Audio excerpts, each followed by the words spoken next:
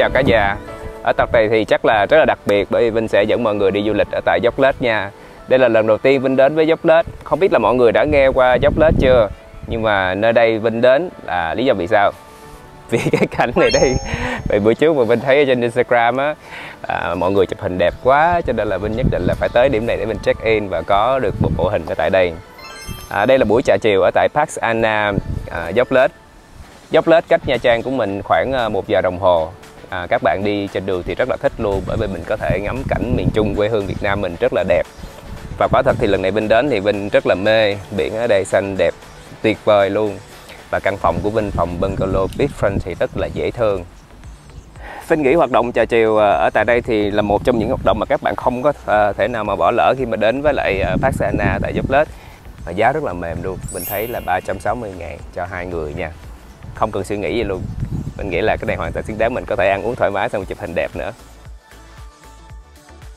Mình nghĩ một trong những điều mà hấp dẫn nhất ở tại à, Pasadena là những cái bông hoa và những cái cây cảnh ở đây rất là đẹp. Xanh mướt luôn và rất là nhiều những cái cây hoa mà cây nào cây đấy là đầy hoa hết luôn. Vinh nghĩ ở đây à, sẽ thân thiện với mọi người hơn à, như là căn phòng nghỉ của Vinh ngày hôm nay là Beachfront Bungalow. Vinh trả khoảng hơn 4 triệu một đêm thì giá đó mình nghĩ sẽ rất là phù hợp với nhiều đối tượng. Và cái mà cái cảm giác mà Vinh thích đó là đi về đây thì mọi thứ nó nhỏ và nó gần gũi xinh xắn dễ thương. Lần đầu tiên Vinh mới đi dốc lết luôn á.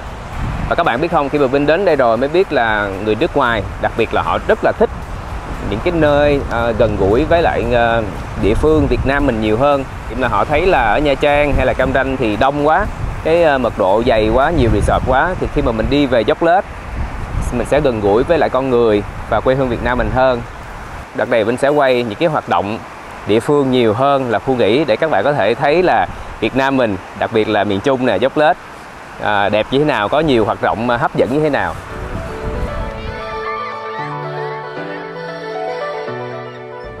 Giờ thì Vinh sẽ show à, phòng của Vinh ngày hôm nay cho mọi người xem nha. Đây là căn à, bungalow. Beachfront sau lưng mình thôi là mặt biển chỉ vài bước thôi là mình xuống tới biển. Ở đây mọi người chuẩn bị cho mình uh, cái phần welcome. Welcome Mr. Quang Vinh. Hơi giống đám cưới nhưng mà Vinh đi con mình. Và Vinh cũng quen rồi thường kìa mọi người uh, làm cái phần welcome đó đa số mọi người đi kiểu như đi uh, nghỉ ngơi cho tình nhân rồi thì nhiều quá. Đây là phòng tắm. Mọi người thấy là Vinh sẽ có thể tắm ở ngoài trời nè. Ở trên trần thì Ờ, có mặt gương. Nhưng mà rất là kín đáo nha. Mọi thứ đã được uh, che kỹ càng rồi. Cảm giác này mình rất là thích mình tắm ngoài trời thoải mái nhưng mà không có bị ai làm phiền đâu. 10 điểm nha mọi người.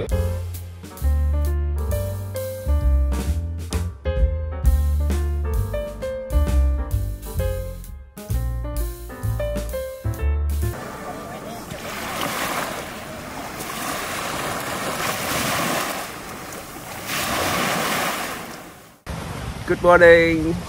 Rồi mặt của mình chưa tỉnh ngủ nữa. Nhưng mà đây Mình phải tranh thủ selfie với lại Bình Minh. Quá. Bây giờ là 5-6 giờ sáng. Và mình phát hiện ra người à, địa phương á Họ đi tắm biển rất là sớm. Người local thì họ sẽ tắm à, vào buổi sáng sớm và Hoặc là buổi chiều nha. Chứ buổi trưa là người ta không có tắm. Người ta nói nắng quá, đen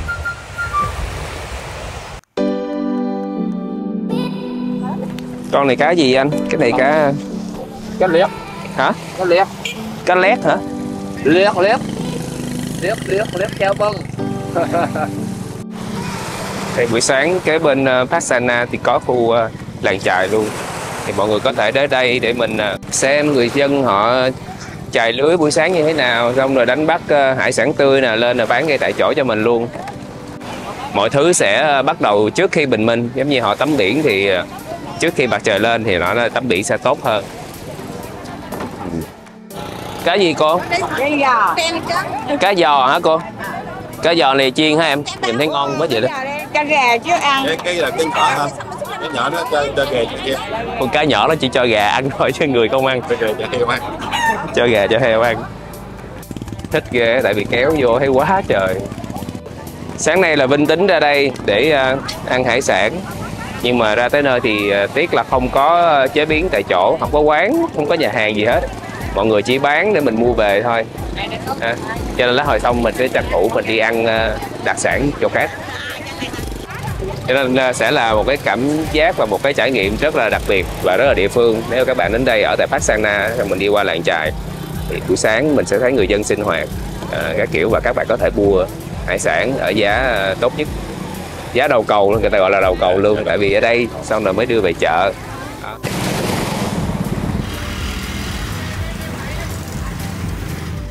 chịu hả em mua đem lên đây ăn bánh xèo xèo cũng được tí không? nửa ký là được rồi nhưng mà cái này mình có phải bỏ cái ruột của nó không Không, để vậy ăn luôn. dạ hả Lỡ cái gì chạy cũng được. dạ dạ Ờ, ok ấy. Em Rồi. có mua, em mua cho chị nè, chị bán đĩa ca chú kia cũng nói bán rẻ hơn rồi ai bán rẻ nhất thì mua nửa ký là bao nhiêu vậy cô bê. Ba. À. à dạ dạ. Rồi. Đây mình sẽ ăn à, bánh xèo mực. Tại tư mẹ bánh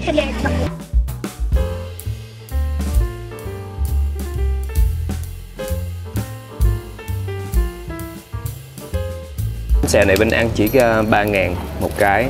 Cô nói uh, 10 cái 30 ngàn. Mực thì mình mua riêng rồi mà một cái điều đặc biệt đó là lát hồi mình sẽ ăn ờ, nước mắm cũng được nè và mình ăn với cái nước cá nữa. Đó nghe nói là cái nước chấm nước cá là đặc sản. Em thử chị biết. dạ.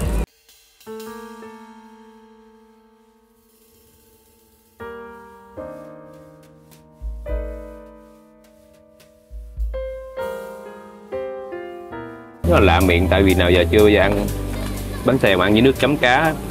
Mà cái nước cái cá kho rất là mềm Ừm, béo lắm. Trong này mình có cái sợi gì á chị hả?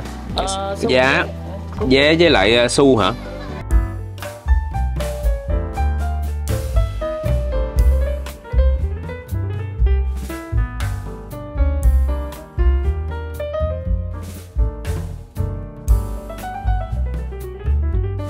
Đến Đinh Hòa Nha Trang thì mình phải ăn à, đặc sản. Đây là món bún cá đây mọi người ăn sáng sớm lắm luôn á. Nãy bên tính đi buộc hàng kia mà 7 giờ sáng là hết sạch không còn tô nào hết trơn. Chả cá rất là dai đúng gu bình đó. Thích ăn chả cá là phải dai dai sụp sụp chứ không đừng có mềm là bên không thích. Một tô này mình bán bao nhiêu chị? Trời đất ơi, tự nhiên cái tôi tỉnh lại liền luôn. À không một tô ờ, bún cá mình bán bao nhiêu? 20 ngàn. Chả cá này em thích nè. Đúng rồi nó dai dai em mới thích em, không thích chả cá mà mềm quá. Với lại mình phải quết, mình mình chà nhiều lần đó đúng không? Thì nó mới dai. À chắc là phải càng nhiều cá và cá tươi. Thì ra nó mới dai, gì mới ngon. Ở đây đồ ăn sáng mình vui ghê, em thấy ăn quá trời bó luôn. Nãy giờ em không có bụng chứ thôi, có bụng em ăn nhiều hơn. Một trong những nơi mà Vinh thích đi nhất đó là Đồng Muối mà hôm nay thì Vinh mới đi được nè. Mặc dù bây giờ nha mọi người 8 giờ sáng thôi mà thấy là hầu như là các hoạt động đây là muốn muốn ngưng rồi. Tức là mọi người muốn đi cái này phải đi sớm lắm. Những người à, làm việc ở đây gọi là diêm dân, còn đi biển gọi là ngư dân. Cái muối này là người ta sẽ dẫn nước biển vô, xong rồi phơi à, hai ba ngày rồi bắt đầu à, lấy muối. Muối này thì họ sẽ đem về xưởng dạ, họ trữ chữ ở đây hai chữ ngay ngay ngay tại chỗ luôn. Rồi rồi thương lái họ sẽ mua. Ừ. à, đưa đi. Về họ chế biến thành muối iốt đồ mà mình, mình đem canh rồi đó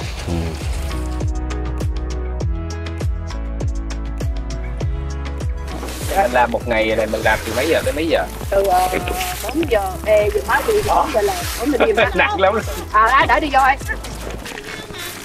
Yêu mày đã. Đi cho. À, vậy đó trời ơi, sao nặng thế vậy?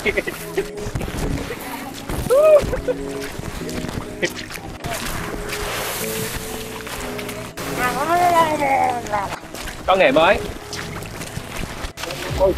Trên 50 tuổi. Wow nhìn chú giống như là 30 tuổi vậy đó. Trẻ quá.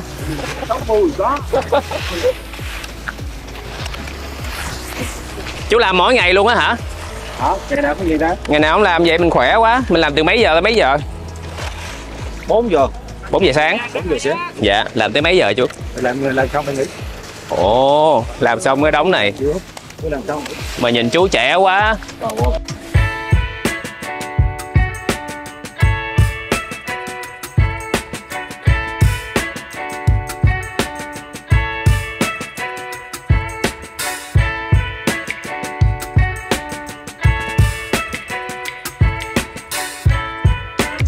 Như Vinh có nói ở tại đầu clip á, đặc biệt Vinh đi Park Anna thì ờ, sẽ ờ, đi tham quan cũng như là trải nghiệm nhiều cái hoạt động ở tại địa phương nhiều hơn để các bạn có thêm thông tin về ờ, dốc lết.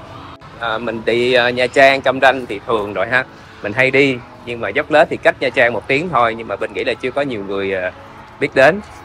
Và bây giờ là một điểm check-in cũng rất là nổi tiếng ở tại đây. Những cái địa điểm mình đi cũng không có quá xa nha mọi người, mình chỉ đi 15-20 phút thôi mình sẽ tham quan được hết. Như Vinh đi à, bây giờ là 9 giờ sáng à, mà Vinh đã đi được rất là nhiều điểm rồi.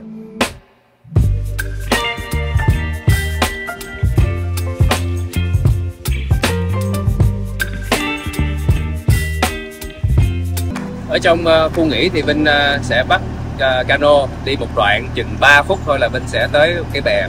Đây đây là dịch vụ mà Vinh sẽ đi bộ dưới đáy biển chắc là mọi người cũng ờ, biết về hoạt động này rất là nhiều rồi, nhưng mà ngay tại Pasadena thì mình có thể trải nghiệm cái này luôn ha. Vinh rất là thích bởi vì ở dưới xe phô ờ, mềm mềm và đủ màu hết trơn á, và được ờ, các chuyên viên ở đây họ chăm sóc rất là kỹ.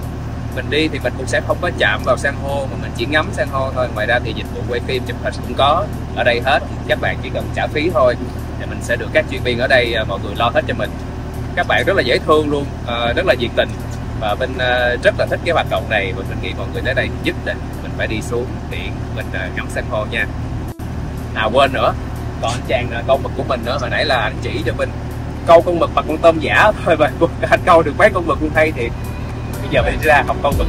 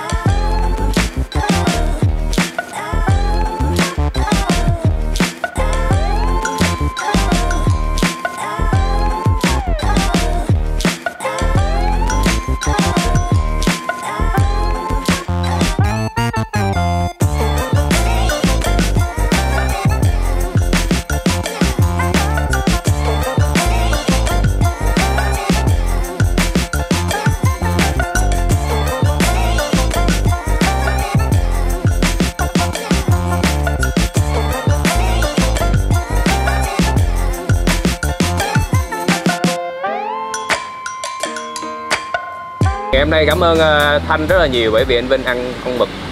Hồi nãy rốt cuộc cũng dám ăn con mực nha mọi người, rất là ngon luôn. Vinh thấy có một cái ờ, khá là hay nữa bởi vì mình có cái khu dành cho picnic ban ngày. Khách ở ngoài họ vẫn có thể mua vé ngày. Dạ. Để mà mình vào đây mình trải nghiệm luôn.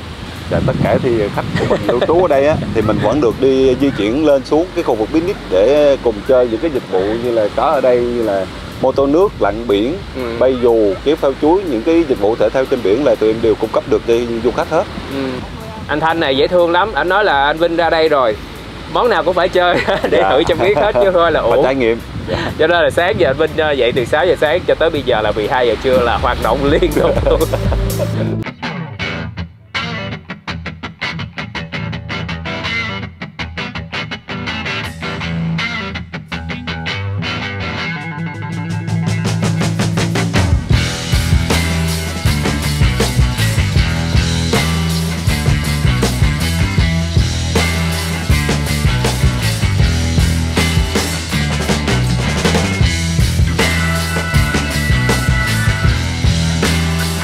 sẽ đi ăn bánh dây.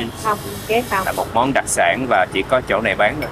Mình nhìn vô mình thấy giống sợi ờ, hủ tiếu ha. Nãy bên hỏi là sao? Không có thịt thì chỉ nói đây là có cá thôi. Đây bên sẽ bắt trước em bé bên ăn đây.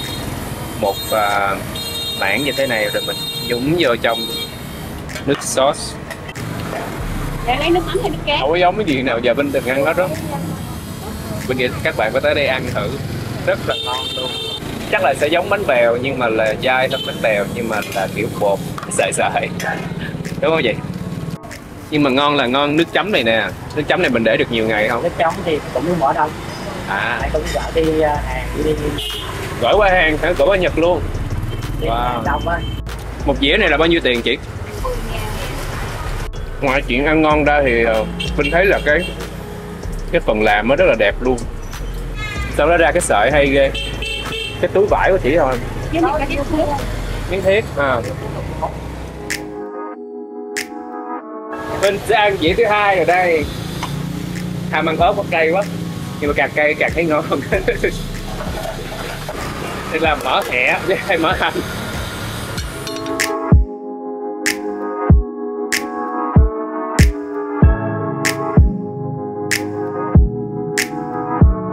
sáng hôm nay là Vinh đã tới được Tiệp Sơn rồi. Ở đây à, cách à, giúp lết khoảng nửa tiếng thôi và cách Nha Trang thì khoảng một giờ đồng hồ nha các bạn. Từ Nha Trang mình sẽ đến à, cảng Vạn Giả, xong mình đi cano thì mất khoảng 10 tới 15 phút thì mình sẽ ra được à, Điệp Sơn. Điệp Sơn bao gồm ba hòn đảo nha mọi người. Liên kết với nhau giống như ngày hôm nay thì Vinh từ bên đảo này có một cái con đường nổi tiếng nhất ở đây nè mọi người thấy trên hình đó. À, con đường cát. Khi mà thủy triều rút xuống rồi thì mình sẽ có thể đi bộ qua đảo bên kia. Khi mà nhìn trên cao thì rất là đẹp luôn. Biển ở đây êm thiệt là êm luôn. Nếu mà so với Nha Trang thì nước biển mọi người nhìn nè trong vắt và nó rất là lài nó nông nữa cho nên mình tắm ở đây Vinh nghĩ là cũng khá thích đó. Sống êm lắm. Việt Nam mình đẹp không? Quá đẹp luôn ha mọi người. Hiện tại thì Vinh đang ờ, đến cái cặp bến á, thì Vinh sẽ đến ờ, hòn ó hay còn gọi là hòn Phật nằm. Các bạn nhìn từ trên cao á, nhìn xuống thì giống như ông Phật ông đang nằm. Còn từ đây mình sẽ đi con đường cát qua hòn Biệp hồi xưa thì hòn Biệp với ờ, hòn quả tiếp theo sẽ có đường đi nhưng mà do bão à, vào năm 2017 thì mất con đường đó rồi giờ mình chỉ còn con đường này thôi. Hòn đảo đây hoàn toàn không có điện nha mọi người. Ở trên đảo thì rất là ít người sinh sống mình có thể đếm trên đầu ngón tay thôi.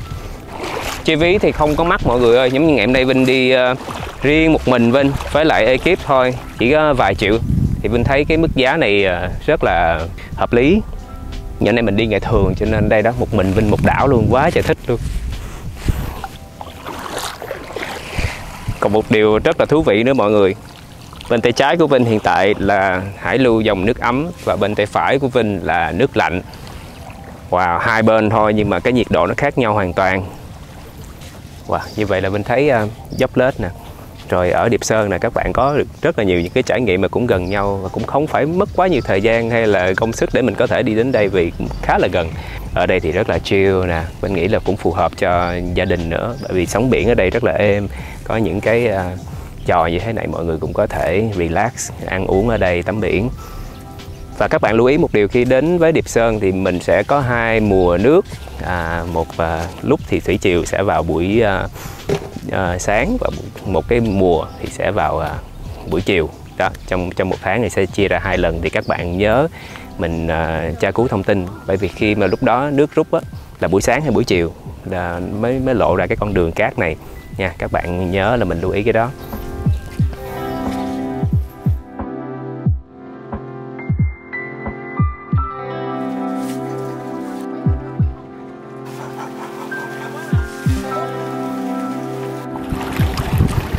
Wow! Một lần cho ăn nhiều ghê hả chú hả?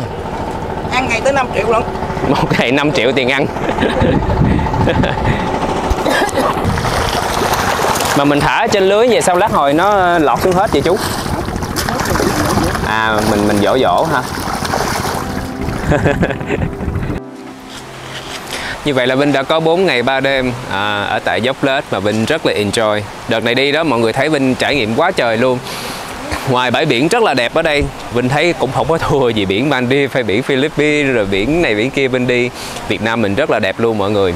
Mặc dù là địa điểm dốc lết Vinh nghĩ không có ờ, quá quen thuộc nhưng mà các bạn hãy tin Vinh là mình đến đây rồi mình sẽ có những cái điều ờ, rất là mới lạ và hấp dẫn. Cảm ơn mọi người đã theo dõi vlog này của Vinh và Vinh cũng muốn dành ờ, một lời cảm ơn đến các bạn nhân viên ở tại Patana đã chăm sóc cho Vinh và đoàn của Vinh rất là nhiệt tình à, hẹn gặp mọi người ở vlog lần sau nha. Chào tạm biệt. Bye bye.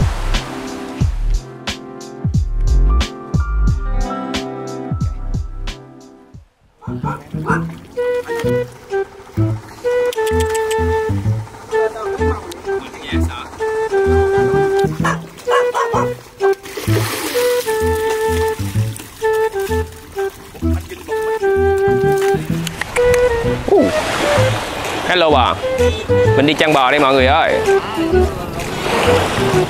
Bò ơi.